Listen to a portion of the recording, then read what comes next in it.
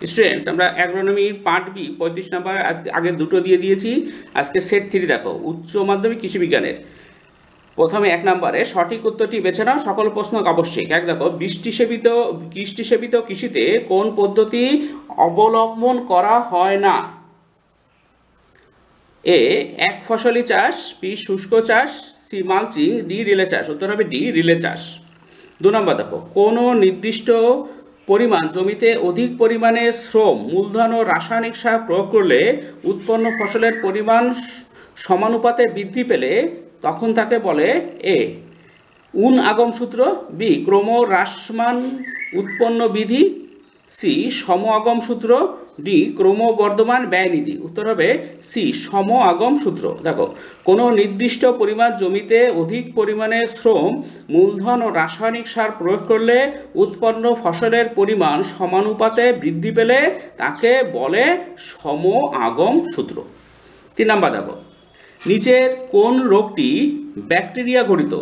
এ, ধানের বিএলবি রোগ, বি, ধানের টুংরো রোগ সি, ধানের খয়রা রোগ ডি, ধানের চিটে রোগ উত্তর হবে ধানের বিএলবি রোগ চার নাম্বার দেখো, নিম্নের কোন ফসলে সালোক সংশ্লেষের হার বেশি? এ, ধান, বি, গম, সি, আলু, ডি, ভুট্টা, উত্তর হবে সি, আলু। পাঁচ নাম্বার দেখো, পশ্চিমবঙ্গের যে অঞ্চলে অম্লমাটির প্রাদুর্ভাব দেখা যায়, তা হলো এ, নতুন পলিমাটি, দুই, সমুদ্র উপকূল, সি, তরাই অঞ্চল, ডি, পুরাতন পলিমাটি অঞ্চল। উত্তর হবে সি, তরাই অঞ্চল। এবার দেখো ছ নম্বর। উদ্ভিদের মূল ও কাণ্ডের বৃদ্ধিতে কোন হরমোন অংশ গ্রহণ করে? A, kinin, B, auxin, C, gibberellin, D florigen উত্তর হবে সি, জিব্বারেলিন। সাত নম্বর দেখো, আলু বীজের অঙ্কুরোদ্গমের জন্য প্রয়োগ করা হয় A DDT B folidol C thiourea D urea, উত্তর হবে ডি ইউরিয়া। আট নম্বর দেখো, নিচের অঞ্চলগুলোর মধ্যে কোনটিতে অম্লমাটির প্রাদুর্ভাব দেখা যায়? এ, তরাই অঞ্চল বি, নতুন পলিমাটি অঞ্চল, সি, পুরনো পলিমাটি অঞ্চল, ডি সমুদ্র উপকূল অঞ্চল। উত্তর হবে সি, পুরনো পলিমাটি অঞ্চল। ন নম্বর দেখো, অম্ল মাটিতে চাষের উপযোগী ফসলটি হলো এ ধান, বি, গম, সি ছোলা ডি, আলু। উত্তর হবে বি, গম। দশ নম্বর দেখো, মাটির আয়তনে শতকরা কত ভাগ জৈব পদার্থ থাকে? এ, পনেরো থেকে কুড়ি ভাগ, বি, কুড়ি থেকে পঁচিশ ভাগ, সি, পঁচিশ থেকে তিরিশ ভাগ, ডি, পাঁচ থেকে দশ ভাগ। উত্তর হবে বি, কুড়ি থেকে পঁচিশ ভাগ। এগারো রকম বাদ দেখো, একই জমিতে একাধিক ফসল আলাদা আলাদা সারিতে চাষ করার পদ্ধতিকে বলা হয়। এ, একক ফসল চাষ, বি, রিলে ফসল চাষ, সি বহু ফসলি চাষ, ডি, অন্তপতি চাষ, উত্তর হবে রিলে ফসল চাষ। বারো নম্বর দেখো, লবণাক্ত জমিতে চাষের উপযোগী ধানের জাতটি হল এ, সিএন পাঁচশো চল্লিশ, B, Lunishree, C, Jaldi two, D NC বারোশো একাশি, উত্তর হবে C, Jaldi two.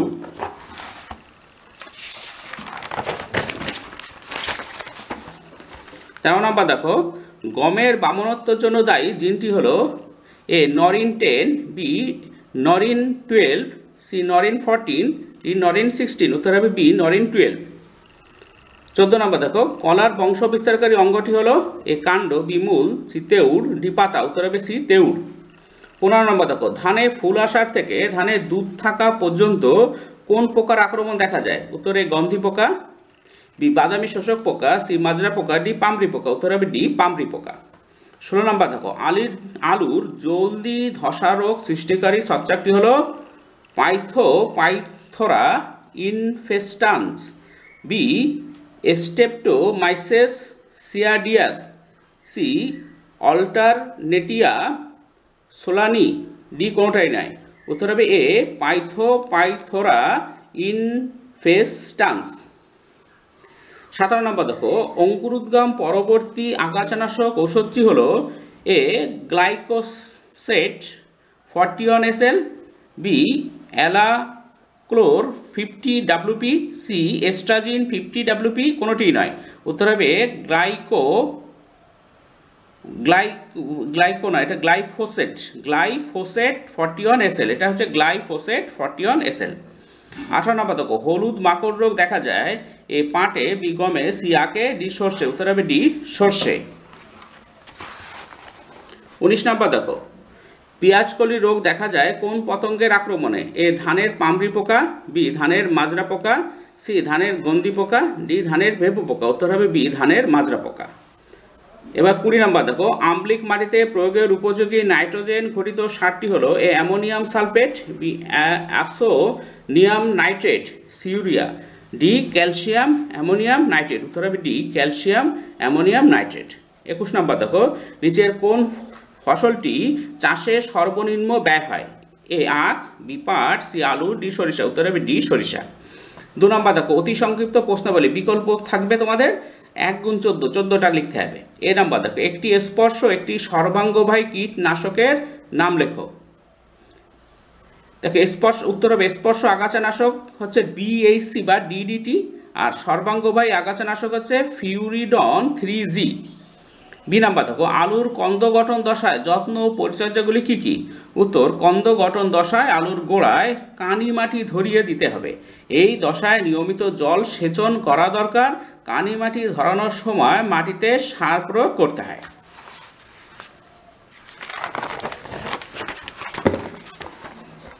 C number দেখো। এন টু এর প্রাচুর্যজনিত লক্ষণগুলি কি কি? উত্তর হবে এ এক, গাছের অতি বৃদ্ধি হয়, গাছ রসালো হয়ে পড়ে। দুই, রোগ ও পোকার আক্রমণ বেশি হয়। সি, গাছের ভূপতন ঘটে। চার, ফসলের স্বাদ ও গুণাবলী হ্রাস পায়।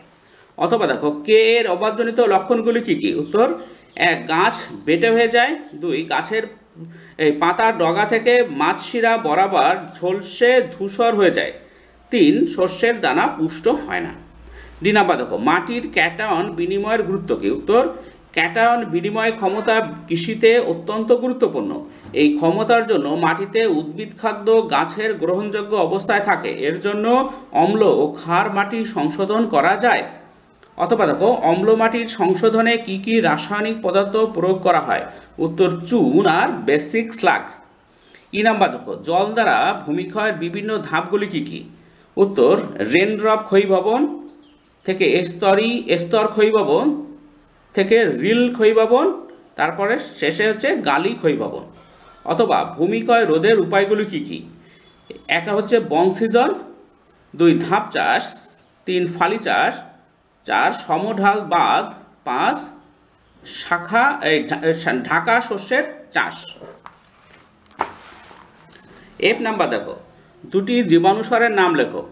উত্তর, এক রাইজোবিয়াম, দুই অ্যাজাটো ব্যাক্টর জি নাম্বার দেখো। আমলিক মাটি ও পশম মাটিতে প্রয়োগের উপযোগী ফসফরাস গঠিত রাসায়নিক সারের নাম লেখো। আম্লিক মাটি রক ফসফেট আর পশম মাটি single super phosphate. H number দেখো। সবুজ সার বলতে কি বোঝো? বিভিন্ন প্রকার সিম্বি গোত্রীয় ফসল, যেমন ধনচে, শন, চাষ করে নরম ও কচি অবস্থায় মাটির সঙ্গে মিশিয়ে যে সার তৈরি করা হয় তাকে সবুজ সার বলে।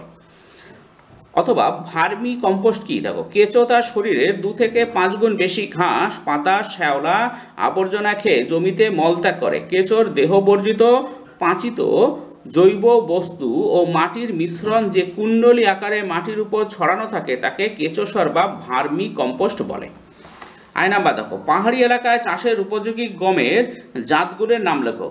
উত্তর হবে শৈলজা আর গিরিজা। তারপরটা দেখো, কলার চারটি জাতের নাম লেখো। উত্তর হচ্ছে Kabuli, robusta, giant governor, Martaman. K number দেখো, আখের সাথী ফসলের বিবরণ দাও। আখের সাথী ফসল, সর্ষে, গম, আলু, ফুলকপি, বাঁধাকপি, মূলা পালক মুগ, তিল, ঢেঁড়স প্রভৃতি।